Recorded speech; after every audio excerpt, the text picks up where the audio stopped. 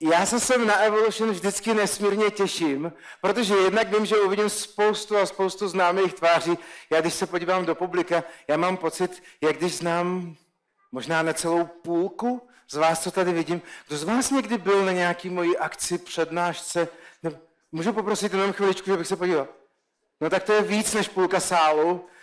Tak já mám pocit, jak když jdu úplně domů, taky se vždycky nerozmýšlím. Jakmile jsem v republice a oni mi zavolají, že je Evolution, tak já už automaticky souhlasím a předělávám kalendář, aby se mi eh, ta návštěva tady toho festivalu vešla do toho mýho rozvrhu. Letos mě sehnali na poslední chvíli, až teďka minulý úterý, proto jsem v programu chyběl do poslední chvíle, ale hned jak se mi dotelefonovali, když jsme se vrátili ze zahraničí, tak jsem to teda potvrdil na tu dnešní sobotu a jsem rád, že jsem tady. A když jsme přemýšleli, jaký přinést téma, tak já na těch Evolution, tady na těch festivalech vystupuju, já nevím, jak je to dlouho, 11, 12 roků, a vždycky jsem dřív měl takovou tendenci a snahu přijít s něčím novým, že jo. Tak to bývá, většinou chceme jít na něco nového, že jo. Tak co ten Mark má dneska novýho? A já mám pocit, že to je jeden z nejjedovatějších přístupů, speciálně právě třeba v tom osobním rozvoji. Furt hledat něco nového, protože právě ty lidi, kteří hledají furt něco nového, mi vůbec nepřipadá, že jsou ty lidi, kteří by nejlíp prosperovali. Naopak v mít, na té mojí cestě to bylo přesně o tom, konečně přestat hledat něco nového. Jestli vám to dává smysl konečně přestat hledat něco nového a konečně se pustit do toho, co už dávno vím, že je to, kde na mě čeká štěstí. Protože většina z nás přesně víme a nepotřebujeme až tak moc hledat něco nového, jako nějaký nový nápady, nové techniky, nové inspirace, nové metody, zase nějaký nový speakery, sehnat někde novou knihu, jít na nějaký úplně nový seminář, protože jako v těch návodech naštěstí, to je to, čím já se zabývám, jenom pro ty z vás, eh, kdo mě vidíte dneska poprvé, tak v tom nejširším slova smyslu, kromě toho, že se tomu říká tadyhle prezentační dovednosti, tadyhle se tomu říká a emoční management nebo emocionální inteligence a jinde vyjednávání a jinde prodejní dovednosti a jindy řeč těla a jindy osobní efektivita a time management a já nevím co všechno. Všichni hledáme jenom štěstí. To je to, co já hledám celý život. To jsou ty návody na to, jak udělat Marečka co nejšťastnějším. To je to, čím se zabývám celou dobu v životě, co já hledám, jak to zařídit, abych byl co nejvíc šťastný. No a byly doby, kdy jsem si myslel, že nej k tomu, abych byl nejvíc šťastný, musím být hodně bohatý, tak to bylo o tom vydělat hodně peněz. Jo? Určitě byly doby, kdy jsem si myslel, že abych byl šťastný, že musím být hodně slavný, tak jsem se snažil být hodně slavný. Jindy jsem si myslel, že to je o tom, kolik zbalím holek, tak jsem zase dal tu nálepku štěstí na něco takového. Jindy to bylo, jakým jezdím autem, jindy kolik procestuju kontinentů za rok a kde všude se vyskytnu a co všechno exotického a dobrodružného, kde na planetě uvidím. A takhle se to v životě mění. A tak plnit si cíle, cesta za štěstím, cesta k radosti, to je to moje téma. A jak já objevuju ty návody a procházím fakt obrovské množství různých věcí, z duchovního rozvoje, osobního rozvoje, profesního rozvoje, nebo jak se tomu říká, ve skutečnosti rozvoje je stejně jenom jeden. Je to to hledání štěstí, protože nic jiného stejně tady nikdo z nás nedělá. Tak jak procházím všechny tyhle různé a různé oblasti, tak průběžně s tím seznamuju svoje publikum. No a právě tady na těch Evolution vždycky přemýšlím, co jako zase přivíst novýho. Ani ne meziročně, protože Evolution bývá ještě v květnu a ještě v září, takže musím dvakrát za rok vymyslet něco nového. A tak jednou za rok si udělám přednášku o šamanismu a jindy o holotropním dechání. A teďka mám pocit, že předposledně jsem tady mluvil o lucidním snění. Ale možná někdo z vás si všimnul, že poslední tři, čtyři roky se to moje tematické zaměření hodně zúžilo. Všimli jste si, že pořád žvaním o té emoční, o té emocionální inteligenci? Že pořád, kdo z vás na mě chodíte nějak pravidelně, že pořád dokola povídám o tom, jak myšlenky ovlivňují pocity a pocity ovlivňují myšlenky a že to je moje téma pořád dokola, pořád dokola. Tak já vás chci ujistit, že nic nového nemám. Potom, takže ustoupil jsem od toho za každou cenu si připravit něco nového, ale vždycky jsou nový úhly pohledu, nový přístupy, a nebo možná tím, že něco slyšíme po několikátý, to teprve doopravdy slyšíme. Hm? A tak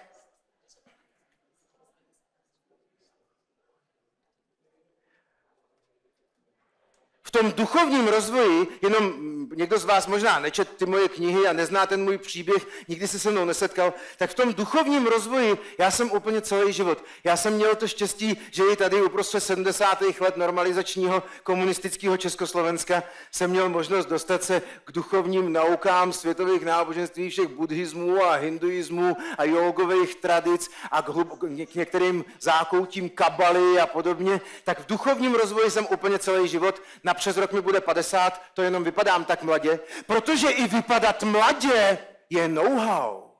Stejně tak jako být bohatý je know-how. Stejně tak jako mít všechen volný čas je know-how.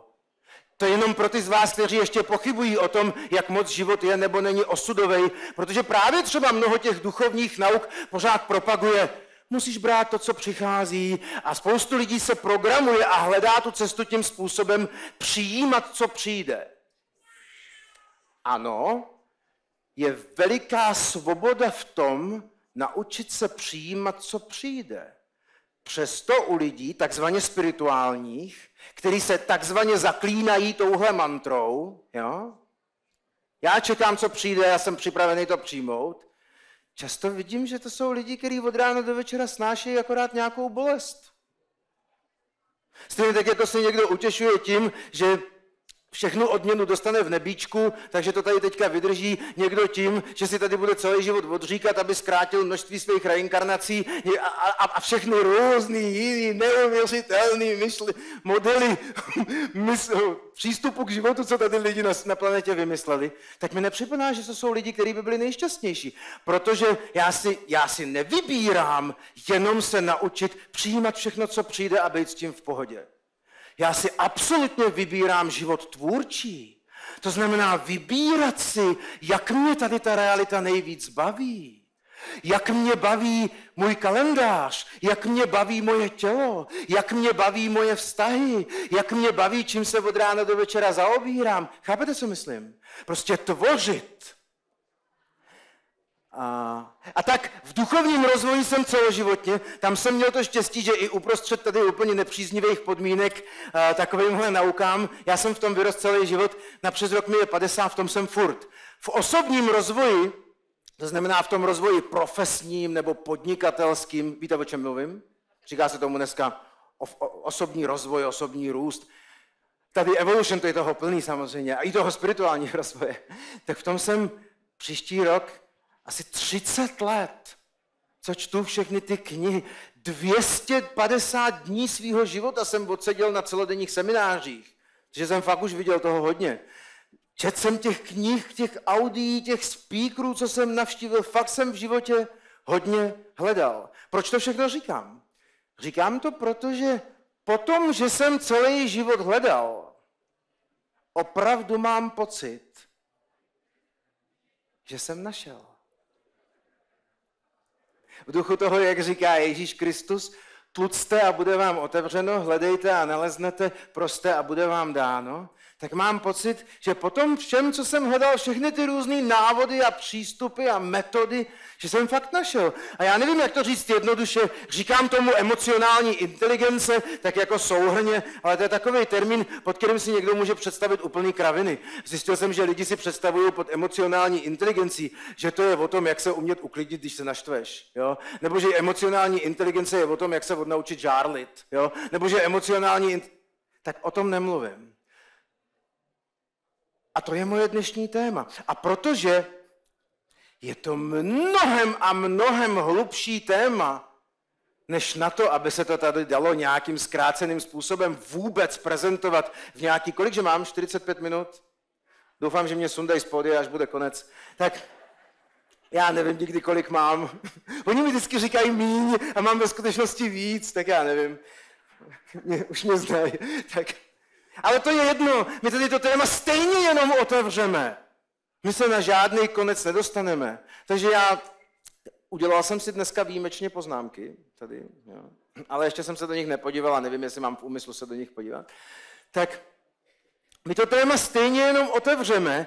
Vlastně cílem toho dnešního mýho povídání je znovu, nás, znovu vás navnadit, věnovat tomu pozornost, vydat se tímhle směrem, pracovat v tomhle směru sám na sobě dál. Tak co si představuju pod tím termínem a emoční inteligence. Jo, ještě, eh, my jsme nevěděli, jak dá, jaký dát název přednášky, jo, a oni potřebovali vytisknout program.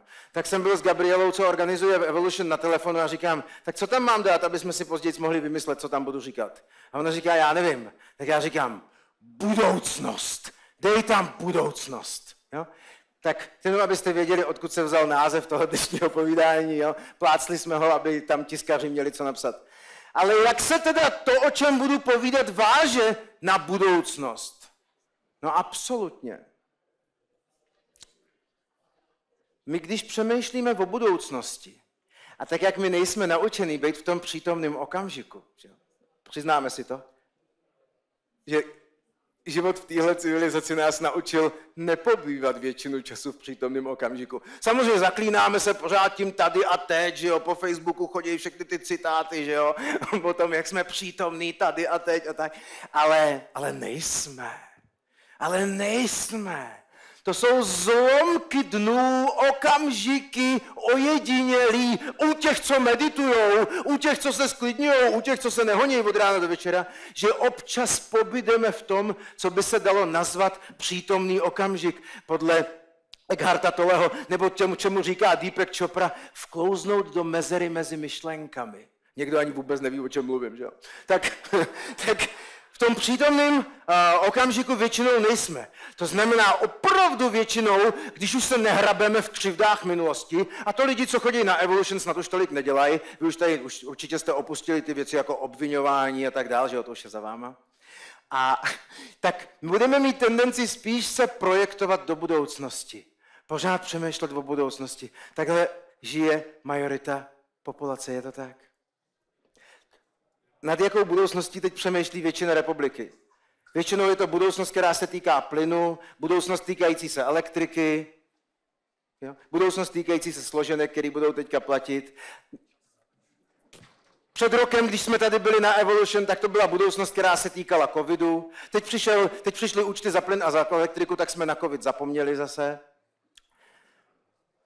My máme často pocit, že ty, a, a to je to kolektivní, jasný, čím, či, kam máme tendenci směrovat svoji pozornost, co se týká nějaký budoucnosti. A potom jsou ty individuální věci. A to momentálně teďka, včera jsme řešili něco na pracovním poli, že scháníme práci a dneska řešíme problémy ve vztahu a tu mysl to okupuje celou. A zítra nám doktor řekne nějakou diagnózu a tak zase budeme řešit nějakou diagnózu.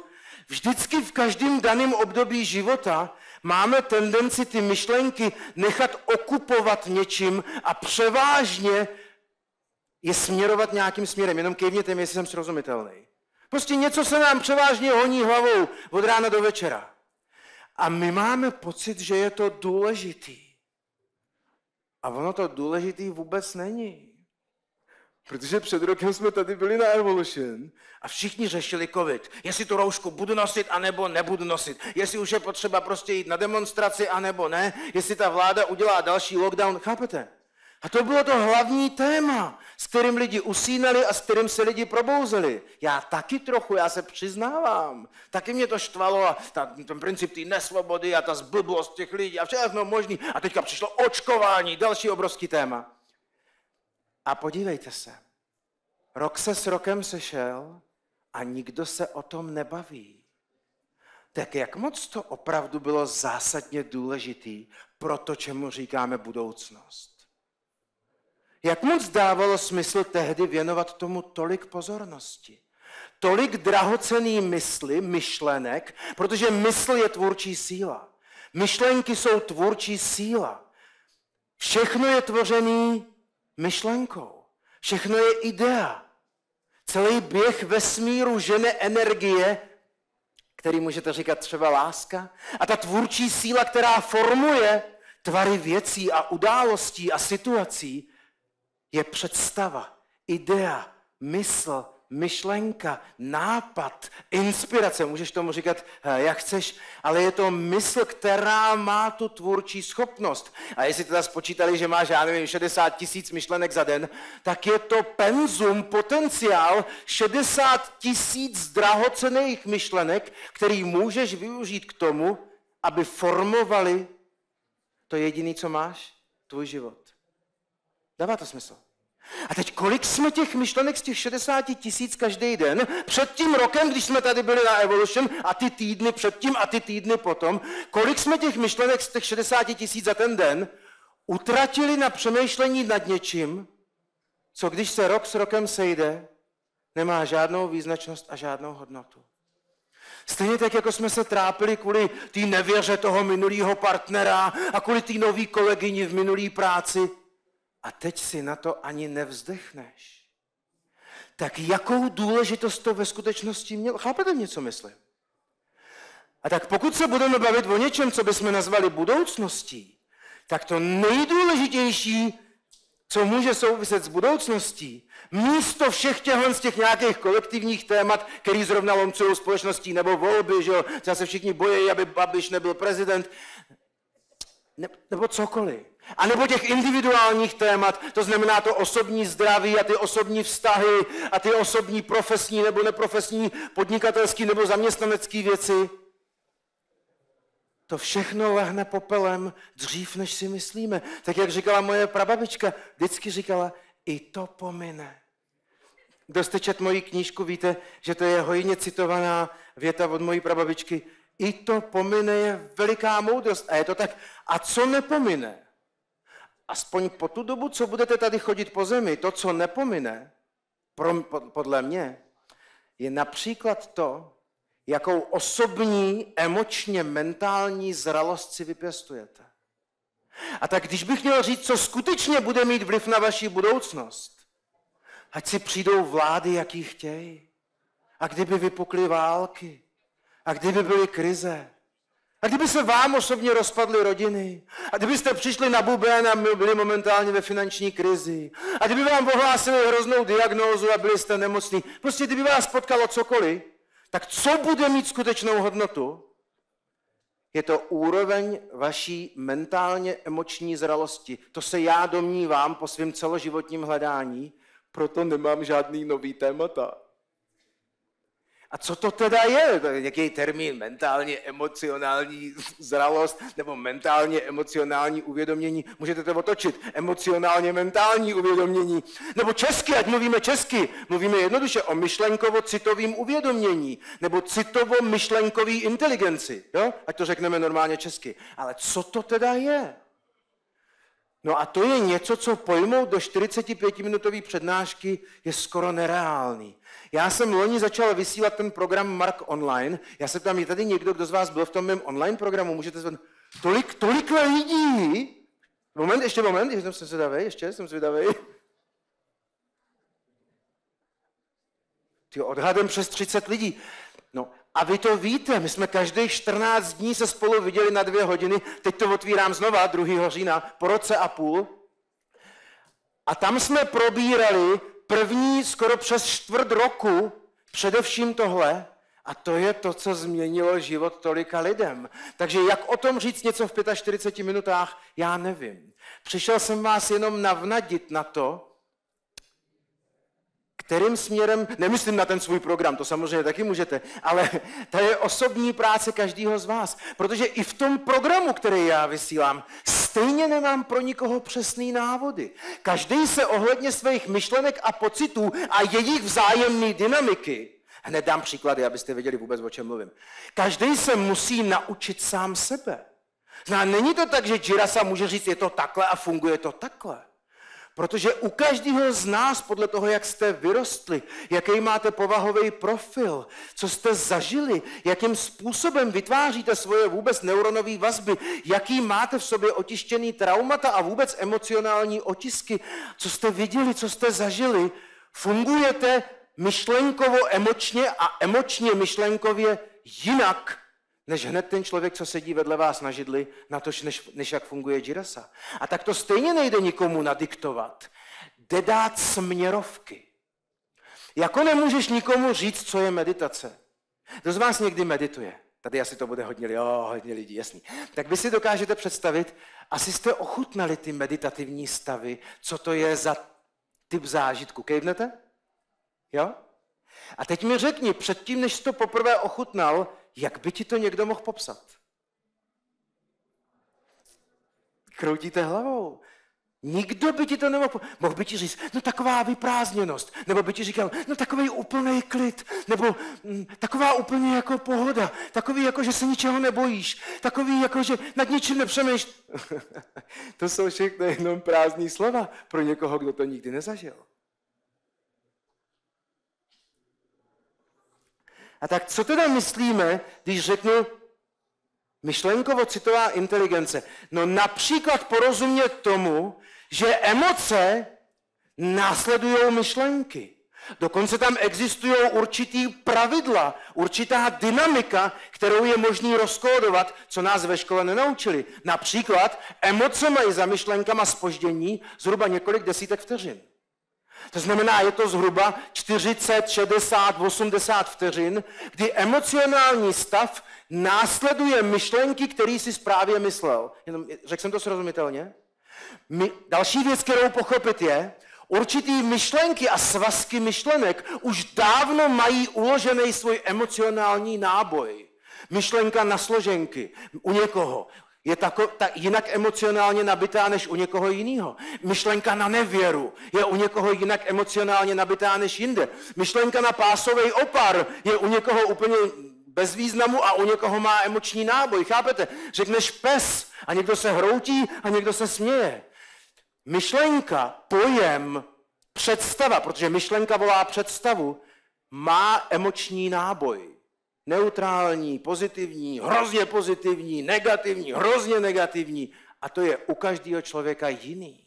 To nejde dělat podle šablony. A tak naučit se, jaký moje myšlenky mají svůj náboj, jaký emoční. To znamená, když přijdou do mý hlavy, jakou náladu můžu čekat o 40 až 80 vteřin později. A pokud to je nálada, o kterou nestojím, tak se naučit, jak ty myšlenky přesměrovat. No ale já když si vzpomenu na bejvalýho, tak s tím nejsem schopná nic dělat. No to je právě ono. To je ta mentálně emoční inteligence například. Dává vám to smysl? Protože jedna věc je, že jsme si ve všech těch filmech tajemství a všech těch knížkách, jak si správně přát a pozitivní programování a, a tak dále, naučili, že musíš myslet na to, co chceš, že jo? A musíš na to myslet pozitivně a blá, blá, to jste slyšeli všechno stokrát. Ale jsou myšlenky, které mají takový emoční náboj, že je za hlavy za Boha nevyženeš. A to je trénink, to je cesta. To je cesta ping-pongu v té své vlastní hlavě. To je cesta technik, různých návodů, pomocníků, berliček, který nám můžou pomoct přesměrovat tu pozornost. A to je něco, co se potřebujeme postupně naučit, co nejde chytit na jednom semináři. Tam chytíš tu inspiraci. A tuška a papír může fungovat tak a tak. A takhle funguje kniha vděčnosti. A takhle funguje nějaká nástěnka vizí. A takhle fungují afirmace. A pak se najednou dostaneš do emočního stavu, kdy ti žádná afirmace nepomůže. A nástěnka vizí ti akorát ještě víc nasírá. Protože vidíš, jak daleko to všechno od tebe teďka je. A tak ten mentálně emoční management a emočně mentální management je například, tím jsem začal, třeba o tom uvědomit si, že emoce budou nutně mít spoždění za myšlenkama, několik desítek vteřin, a je tam kritická doba na to, přesměrovat myšlenky jinam. Další věc, která s tím souvisí, je uvědomit si, že každá myšlenka má svoje sestřičky. Chápeš, co myslím? Jo? Jo? Jo? To znamená, jedna myšlenka zavolá všechny další myšlenky. A tak myšlenka na to, kolik jsem přibrala po Vánocích, jo? už má další svoje sestřičky. Vzpomínku na to, jak jsem to neschodila po porodu, vzpomínku na to, jak to bylo minulý Vánoce. Chápete, co myslím? A takhle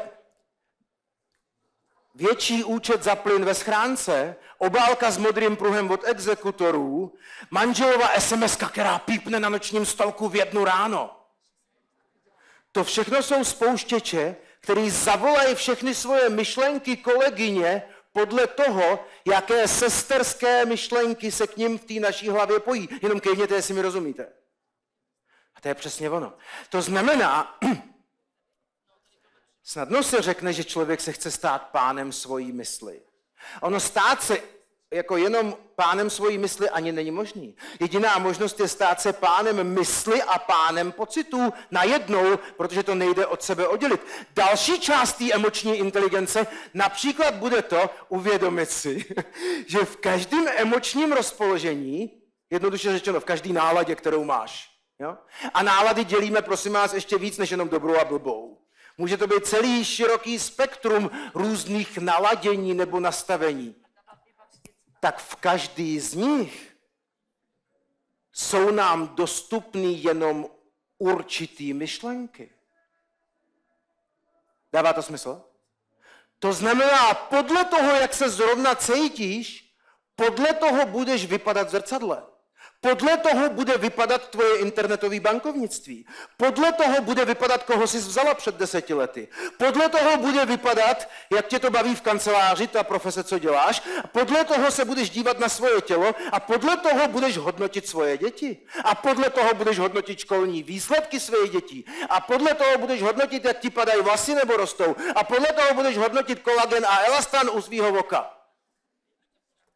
Protože každý jednotlivý emoční rozpoložení umožňuje jenom odpovídající spektrum myšlenek. Chápete, co myslím?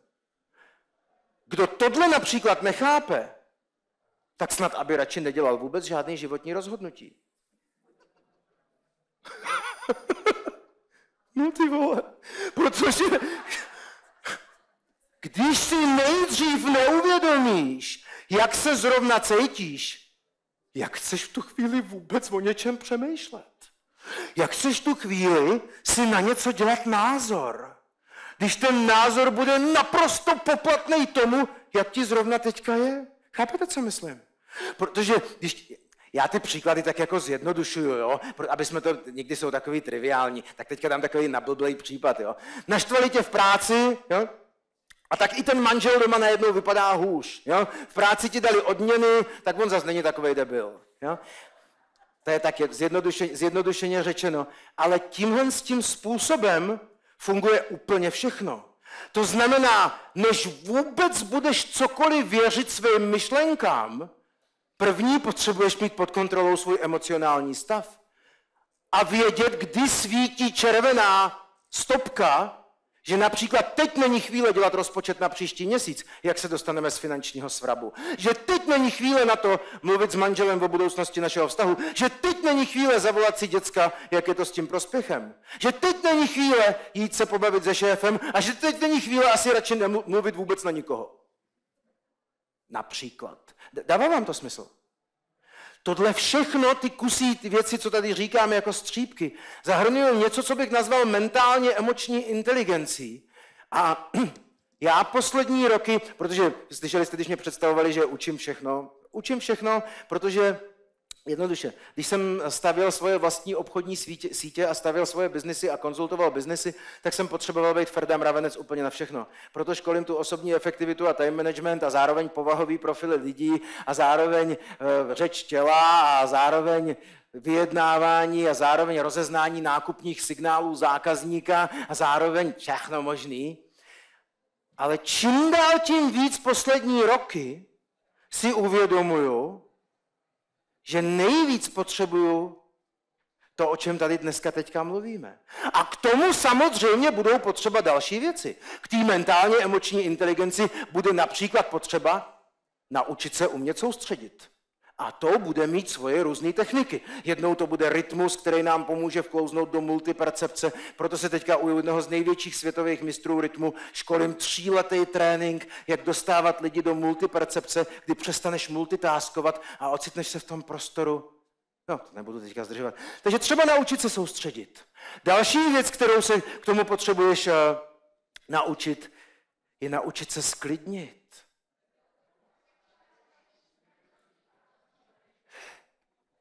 Další věc, kterou se k tomu budeš potřebovat naučit, je naučit se trvale vůbec monitorovat ten svůj citový stav. Já tomu říkám instalovat pozorovatele. Instalovat oko za okem. Kdo z vás mi už rozumí, když to takhle řeknu? Ještě to můžu říct jinak. Začít přemýšlet, jak přemýšlím. Trvale, většinu dne. Nebo můžu říct, začít si uvědomovat, jak přemýšlím většinu dne. To znamená část té operační paměti, která tady přemýšlí, výmout, aby tam se stala svědkem toho, jak se přemýšlí. To je to, co učí yoga třeba mimochodem a spoustu jiných učení, ale já tomu taky říkám třeba instalovat pozorovatele, nebo tomu řekněte dosadit hlídače. To znamená nebyt tolik chycený v tom, co se zrovna děje. Nebyt tolik chycený v těch událostech, které jsou kolem tebe momentálně, v těch okolnostech, které pozoruješ, v těch situacích, v kterých se ocitáš. Nebyt kompletně chycený v událostech, okolnostech, situacích, prostředí, dějích, v tom pozorování, ale zároveň si uvědomovat pořád svůj vlastní proces přemýšlení a svoji náladu, aby si včas poznal, kdy se ti nálada začne kazit. Aby si včas poznal, kdy se tvoje mysl zacyklila a točí se v jednom problému dokola. Aby si včas poznal, chápete, co myslím? Že tohle tě vyčerpává. Aby si včas poznal, že s tímhle člověkem ti není dobře. Aby si včas poznal, že na tomhle místě se necítíš nebo cítíš. Aby si včas poznal, že tvoje tělo už má dost Protože je těžký nepřežírat se, když u toho lidi odmazávají SMSky, čtou noviny a dělají tisíc jiných věcí a všechno, s čím jsou v kontaktu, je všechno jiné než jejich vlastní tělo. A tak instalovat, já někdy takhle házím příklady ze všech oblastí, aby jsme viděli, jak je to vše pronikající, jak je to vše zasahující. To se týká stejně toho, neobžírat se, jako vnímat klienta na obchodní schůzce. Týká se to stejně tak vědomího milování u vás večer v posteli. Týká se to stejně toho, opravdu se umět ponořit do excelovské tabulky, když sedíš u, u počítače. A týká se to úplně stejně toho vychutnat si západ slunce, když sedíš u moře na pláži. A týká se to úplně stejně... Týká se to života, tedy úplně všeho. A tak instalovat pozorovatele je další z těch věcí, které jsou potřeba pro tu naší emoční inteligenci. A je to spoustu a spoustu různých jednotlivých... Máte pocit, že už jsem toho vymenoval hodně, co se týče těch součástí? To jsou jen věci, co mi teď přišly na mysl. Proto to není téma, který by se dalo lidem přinést za 45 minut na Evolution. Je to návnada dneska tady. Jděte tímhle směrem. Pozorujte svoje myšlenky a jejich návaznost na emoce. Který myšlenky nesou který pocit a opačně, který pocity umožňují který myšlenky. Zní to srozumitelně? Po tom krátkým takovým úvodním vysvětlení? Aspoň třeba tohle? Tohle vám dá víc než největší část všech seminářů osobního rozvoje, podle mě. Protože postupně, během několika týdnů až měsíců, začnete rozkrývat ty vazby. Pro ty z vás, co jste to ode mě už slyšeli, prosím vás, kdo z vás tohle už ode mě někdy slyšel? Jasný? Proč to teda tady znova opakuju? Protože máme tendenci pořád všechno zapomínat, jestli, jestli jste jako já. Po několika týdnech až měsících začnete rozkrývat tu vlastní dynamiku toho svýho psyché. Jediný člověk, který na to může přijít, ve vašem případě tomu nakloup, jste jedině vy sami. Co se v tobě děje? Co se v tobě děje? Chápeš, co myslím? Jaká je ta dynamika toho tvýho psyché? Samozřejmě nějaký okrajový znalosti lidi mají, vědí, tohle mě nasírá, nebo tohle mi dělá dobře, ale mluvíme o nesrovnatelně hlubším porozumění, z kterého vyjde to, že budete vědět, jak si máte dělat svoje rána, jak máte obědvat, z kterého, bude, z kterého vyjde to, na co myslíte, když řídíte na silnici jakýma obrazama se obklopujete, co si budete pouštět na YouTube, s jakýma lidma se budete bavit nebo nebudete bavit, jakou budete dál číst literaturu nebo nebudete číst literaturu. Co si budete opakovat přes den, jak budete formulovat svoje afirmace. Z toho postupně začne vyvěrat celý váš osobní návod na váš život. Můj návod na Marečku v život je velmi konkrétní. Proto jsme tak neuvěřitelně efektivní. Jako to, jak já jsem efektivní, je fakt dech beroucí. To je naprosto neuvěřitelný, kolik já jsem schopný. Až teď, to nebylo tolik před 20 lety. Kolik jsem schopný se větší naučit za každých 24 hodin, za každých uplynutých 7 dní. To je naprosto neuvěřitelný. V 50. Kdy se spousta lidí už neučí skoro nic. Já jsem nikdy v životě neměl takovouhle absorpčnost, takovouhle receptivitu, takovouhle schopnost růstu a nikdy jsem nemládnul jako teďka. Protože na přes rok mi bude 50 a zhruba před čtyřma až šesti lety už jsem vypadal starší než dneska. Takže ne, že zpomaluju stárnutí, já jsem ho otočil. A to jsou věci, které jsou revoluce v mém životě. Věci, vždycky jsem vypadal v životě mladě. Ale to, jak teďka se to mě, vždycky jsem měl volný čas. A teď si dělám celý dny, co chci.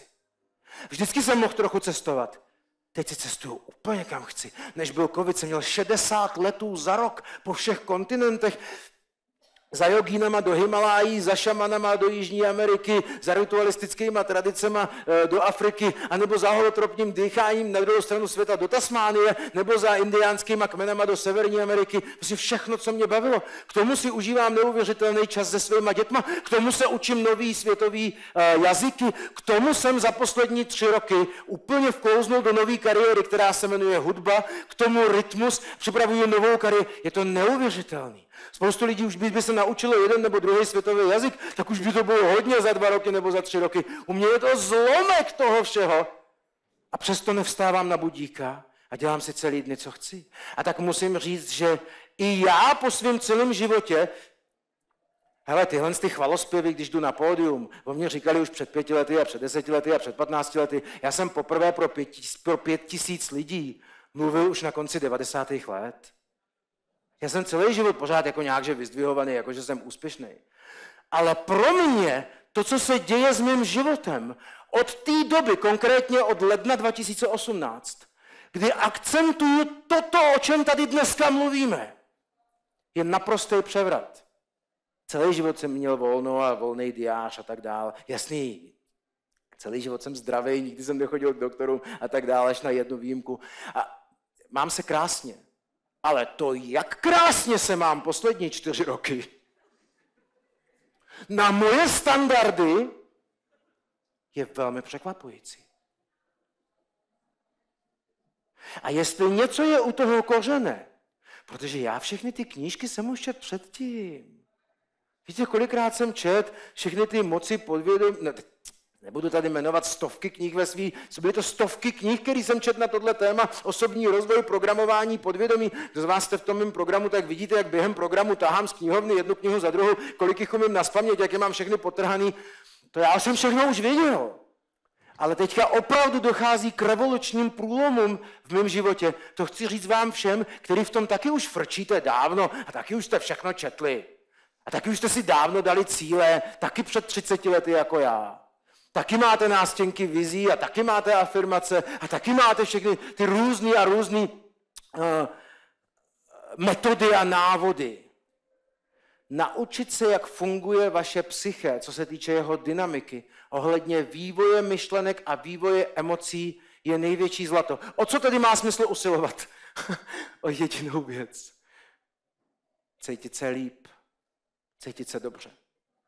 To je jediné, co stojí za to. Když se budete cítit líp, samozřejmě organismus funguje líp, líp jste napojený na klienta, s kterým mluvíte, jste daleko kreativnější, tvůrčější, lidi vás víc poslouchají, jste inspirativnější, působivější, jste kreativnější, takže tvůrčí schopnosti jsou otevřený, jste uvolněnější, odpočatější, máte spoustu energie, do večera prostě fungujete. Já spím pět hodin denně, jim misku salátu za den a jsem furt takhle, jak mě tady vidíte. Lidi, co mě znají, vidí, že takhle frčím furt celý dny. A To je ono. Kdybych měl říct jeden recept na úspěch, tak je to toto. Ten recept podrobně potom já rozebírám v tom svém programu a protože zrovna Evolution se trafilo 14 dní před ten start toho programu, tak vám o tom chci teďka říct, protože otvíráme to 2. října a jakmile ten program otevřeme, tak eh, nebude potom už možný přistoupit na palubu. Já totiž, protože je to tak koncepční, všimli jste si, když jsem tady teďka dával ochutnávku toho všeho, o čem mluvíme, že to je obsáhlý. A tak lidi, kteří s náma nastoupí na tu loď a vyplujou z toho přístavu 2. října, tak my prostě v prosinci nenabereme další lidi. Ani minule jsme to neudělali. Vůbec o tom programu, kdybych vám měl říct.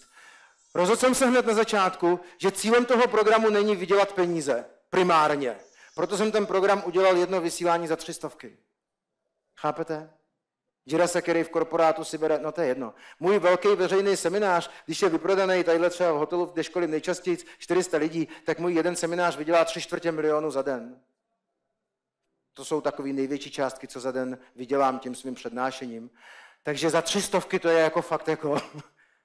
Protože nebylo cíl. Cíl je udělat změnu. A protože cíl je udělat změnu, vyžaduju i závazek od lidí. Takže například třeba Není to předtočený offline, musíte být přítomný jednou za 14 dní v neděli večer, takže kvůli tomu musíte přijet dřív z chalupy. Tenhle ten typ závazku je prostě potřeba a protože cílem není vydělat co nejvíc peněz, abych to natočil offline a prodával to tak, jak se to dneska v dnešním světě dělá, že si jenom stahneš nějaký videa.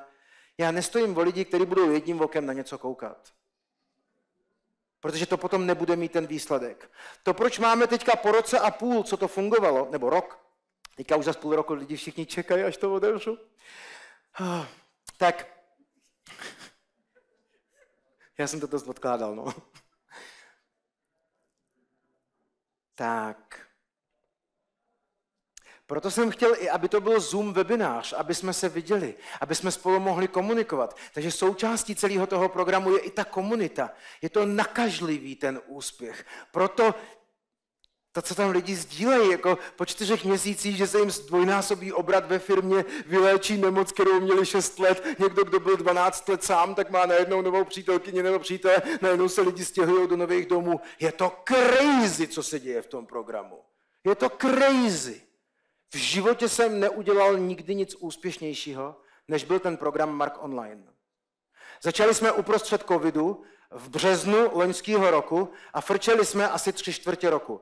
Pak jsem to zastavil, protože už jsem taky potřeboval cestovat, nebo chtěl jsem cestovat, chtěl jsem mít víc eh, volno a začali se množit žádosti. Respektive žádosti se množily od začátku. Jak se to rozkřiklo, spoustu lidí chtělo přibrat do toho programu, ale my jsme ty dveře udrželi zavřený a řekli jsme, vezmeme vás příště. A nakonec museli čekat rok a půl. A teďka uděláme to samý. Ta loď až teďka vypluje, tak zavřeme ty brány. Nebojte se, zase to někdy rozjedu. Zase za další rok a půl to třeba otevřeme. Ale teďka, kdo to z vás by chtěl stihnout, kdo o tom uvažujete, stihněte to do 2. října, nebo respektive do konce září je otevřený, myslím, přihlašování. Stihnete, stihnete to přihlášení do konce září, to jedno vysílání jednou za 14 dní stojí tři stovky, myslím plus DPH, no, takže cena je směšná. Nenechte se prosím vás odradit směšnou cenou. To, že je to takhle laciný, neznamená, že je to tak laciný. Je to mega dobrý. Je to to nejlepší, co jsem kdy udělal. Takže tam vás chci pozvat a tam krok za krokem otvíráme tohle know-how úspěchu, tak aby jsme měli možnost vždycky vstřebat to, co probereme v té jedné až dvou hodinách, v těch průběhu 14 dnů, protože po 14 dnech, co sama sebe pozoruješ, už víš přesně, o čem jsme mluvili a my můžeme jít dál. Chápeš, co myslím?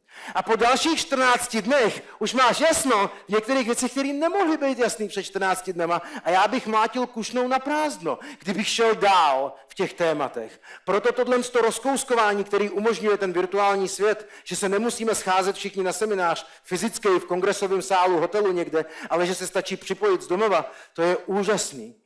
Tak jsem vás chtěl všechny pozvat, pokud cítíte takovýhle volání, primárně první dva a půl až tři měsíce budeme probírat to, o čem bylo to moje povídání dneska tady, povšechně, tak velmi zevrubně a postupně.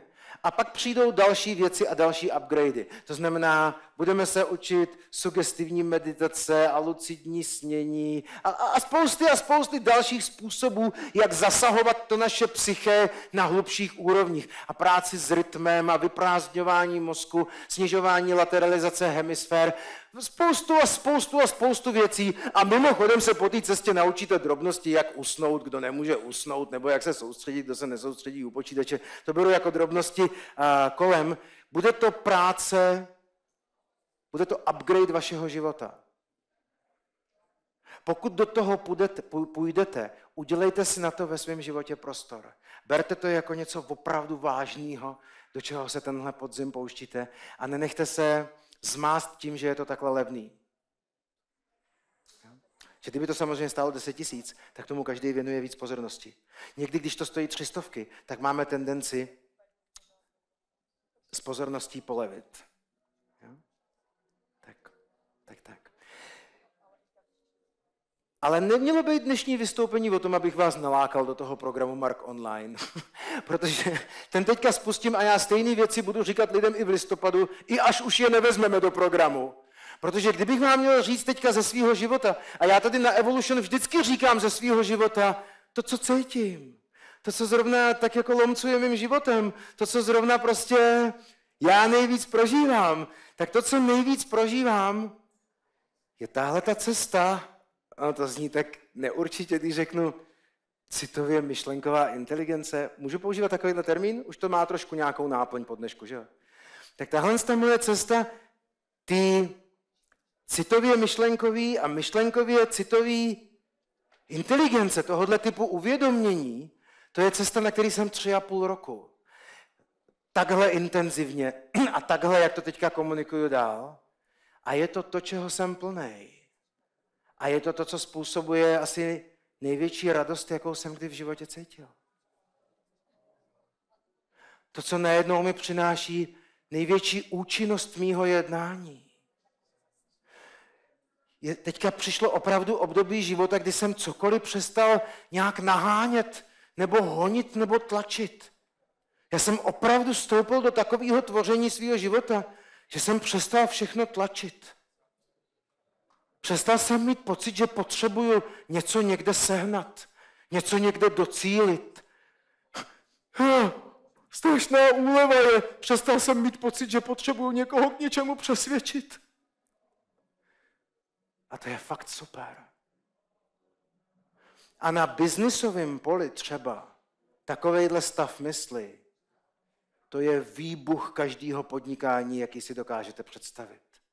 Dokud pořád žijeme v tom, že scháníme ty klienty, dokud pořád žijeme v tom, že hledáme ty návody, dokud pořád žijeme v tom, chápete, že hledáme ty partnery a hledáme ty diety a hledá... Tak to je ještě pořád jiný stav, než ten stav, kdy si oddychneme od toho pořád něco schánět. A tam mě dovedla ta moje nová cesta teďka v posledních čtyřech letech, tak jsem vás na ní chtěl navést. Bez ohledu na to, jestli se pustíte do nějakého, jo, kde ten můj program najdete, hele, kdo ho bude chtít, tak ho najde. Jinak je, je to markonline.myšleníúspěchu.cz, ale to asi vygooglíte někde.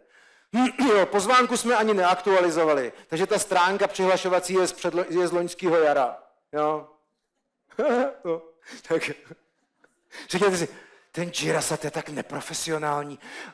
Prostě kolik by má z jednoho vysílání? To musí být stovky tisíc, ne? Když tam má tolik set lidí, přes 500 tisíc. A tomu to nestojí za to, aby předělal ten web. To je součást toho, jak teďka nic nescháním. Že jsem ani nepředělal ten web. A ono všechno funguje líp, než kdykoliv předtím fungovalo.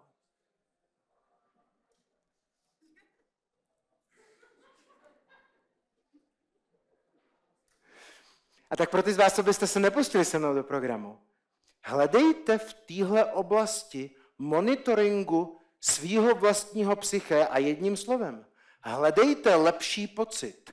Neuvěřte na to, že je potřeba především vytvo- vy- vyřešit složenky a až potom se dobře cítit. Že je potřeba především přemluvit klienta a až potom se dobře cítit. Že je potřeba především zhubnout a až potom se dobře cítit. Že je potřeba především spacifikovat děcka a potom až se dobře cítit. Že je potřeba především teďka sehnat nový bydlení a až potom se dobře cítit. A změňte tuhle rovnici tak, abyste si uvědomili, že je potřeba nejdřív se dobře cítit a pak je možný cokoliv dalšího v životě. Protože bez toho se zavřou všechny cesty. A tak hledat cestu k lepšímu pocitu, by se dalo říct. Ono to zní jednoduše, ale ona je to docela věda. Tak ono to zní vágně, zní to triviálně. Kolikrát jsem to asi tak slyšel od všech těch speakerů a učitelů, že se mám cítit dobře. To jako všichni pokryváme hlavou, jasně je důležité cítit se dobře. Ale to, jaká věda je naučit se cítit se dobře, to rozkrývám v posledních čtyřech letech. Až když jdu tu cestu s lidma a učím to lidi. Až když zažiješ ty momentální propady emoční, chápete, co myslím? Nebo zažiješ blbou náladu ve společnosti, nebo zažiješ momentální kolaps nějaké oblasti svého života, nebo prostě se vzbudíš do blbýho rána a podobně, tak teprve najednou zjistíš, jaká věda je umět se trvale dobře cítit, nebo trvale hledat cestu k lepšímu pocitu. A samozřejmě existují ty obecné návody, které jsme slyšeli spoustukrát, jako je nástěnka vizí, kde máš ty super věci, všechny nablejskaný, že se na ní podíváš a hnedka jsi z nich nadšenej. Jasně, že to funguje, když to tolik lidí používá. Taky jsem to celou svoji obchodní kariéru učil lidi. Ale moc dobře víte, že potom přijdou emocionální propady, kdy se podíváš na nástěnku vizí a neříká ti vůbec nic. Naopak, ještě tě to vysírá, jak ty všechny věci jsou úplně vzdálený, nebo jak najednou jsou bez hodnoty po tom, co držíš v ruce rengenový snímek s tou novou diagnózou. Chápete, co myslím? Nebo co leží na stole ty rozvodové papíry, nebo co přišly ty složenky. Chápete, co myslím? A tak naučit se cítit se dobře je trochu větší věda, než jenom napsat si svůj deník vděčnosti a udělat si svoji nástěnku vizí. Chápete, co myslím? A vypočítávat požehnání s manželkou před usnutím. Ano, obecný rady na to hledat lepší pocit, těch jsou v plný filmy tajemství a plný rady všech koučů, učitelů, trenérů. Ale proč tolik lidí, kteří je čtou, to v praxi nedokáže aplikovat opravdu, aby to fungovalo plně? Protože je to větší věda, než se zdá. Než mi někdo objasnil, že emoce mají za myšlenkama spoždění 40 až 80 vteřin, Chápeš? To bylo prostě zásadní uvědomění. Uvědomit si, jaký emoční náboj mají určitý myšlenky, jaký sesterský myšlenky k sobě zavolávají, eh, k sobě automaticky volají. A pak teprve můžeš hledat způsob, jak najít nějakou techniku, která ty myšlenky přesměrovat. A jak to udělat rychle v tramvaji mezi třema zastávkama, potom, co jsi přečet tu hrůznou sms a zrovna máš mít jednání nebo poradu se šéfem. A jak to udělat před spaním, když už se půl hodiny převaluješ v posteli. A jak to udělat, chápete, co myslím? Tak to je potom ta cesta té praxe a tam je mnoho věcí, které se postupně rozkrývají a které se potřebujeme naučit. A tak vágní prohlášení Učme se furt cítit co nejlépe, nepodceňte. Je to docela věda, učit se pořád cítit co nejlépe. Ale kdo tohle zvládne, má vyhráno, já bych skoro řekl, na každém poli života. Protože pak je požehnaný všechno, čeho se dotkneš. Pak kde se obrátíš, tak tam všechno kvete, tam všechno roste, kam pošleš pozornost, tam... Ale musíš se naučit po té cestě, jak třeba přemýšlet o věcech, které ti chybí. Jak třeba přemýšlet o věcech, které ti vadí. To je know-how, protože budou věci, které ti vadí, to si nemůžeme bulíkovat, že nebudou věci, které ti vadí. Jakým způsobem o těch věcech přemýšlet? No, pozitivně. Co to sakra znamená? To jsem slyšel 25 let, že mám být ohledně všeho pozitivní. A absolutně byly oblasti života, kde to prostě a jednoduše nefungovalo. To znamená, jsou daleko záludnější triky na náš mozek, než jenom říct buď pozitivní. Chápete, co myslím?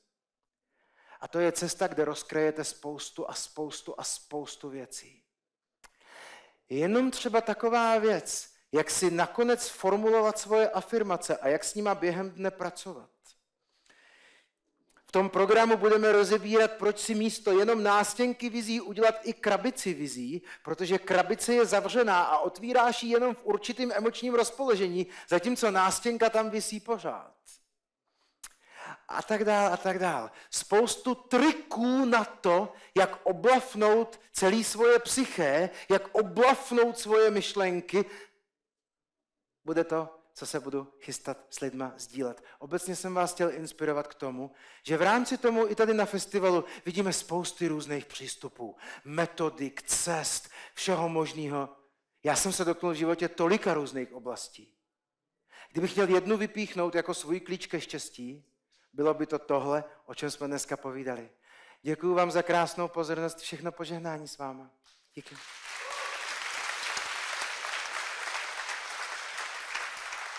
Děkuji.